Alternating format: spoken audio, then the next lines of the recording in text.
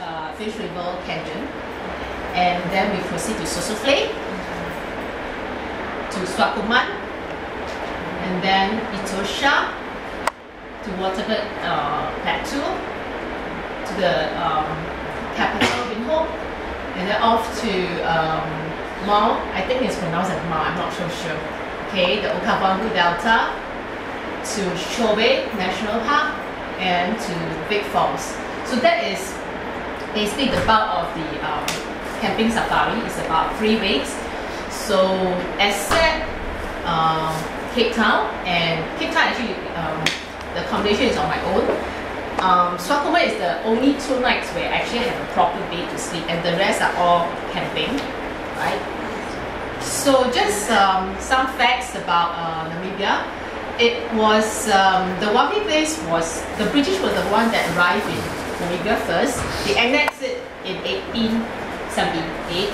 They, at the time, they decided that um, looking at the geography of Namibia and the coastline, Walvis Bay is the only place perhaps is worth uh, occupying because it has a very natural deep uh, what, uh, coastline for harbor and it looks like it's the only um, uh, viable location for port to protect their trading route via the Cape of Good Hope over the, the, uh, the so-called uh, Africa.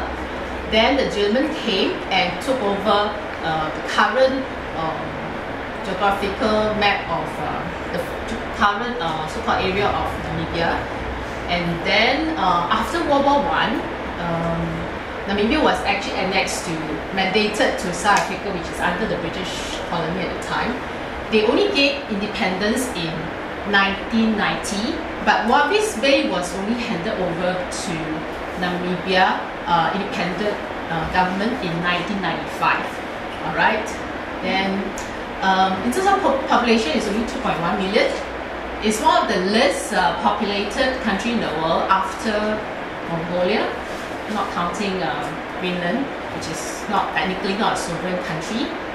So majority of people are, are white, uh, sorry, black, and then um, English and German is widely spoken there.